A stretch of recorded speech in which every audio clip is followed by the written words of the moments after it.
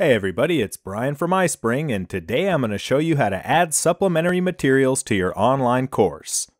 The eternal struggle of the teacher is to present a bulk of information without overwhelming the learner. In an online course, you may want to provide extra materials separately without breaking the narrative flow of the course.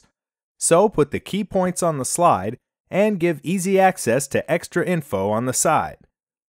The iSpring Course Player has a handy little resources menu right up here for exactly that purpose. Hyperlinks will take the user to the web page you specify, and you can even attach files right to the course that the user can download just by clicking on them. Let's hop over here to the presentation resources and see how to add stuff. First, I'm going to add a hyperlink right here. I'll just give it a title, then enter the URL and it's as simple as that. Now I'll pop a PDF attachment right here, and I just gotta click the file. Before we close out of here, you might want to check out your hyperlink settings. This menu will let you choose whether external links will open in the same window, open a new window, the parent window, or the top window. Okay, now let's get out of here and go up to the player settings.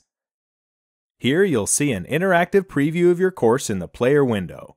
To enable access to the Resources button, you should make sure the top bar is enabled, and you can see exactly how the menu will appear to your learners after publishing.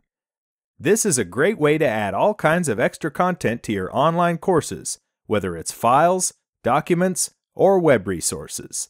Thanks for watching!